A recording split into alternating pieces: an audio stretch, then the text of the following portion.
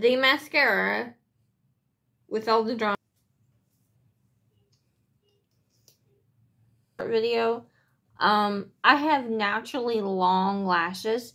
These are real. So it's going to make this product look pretty good.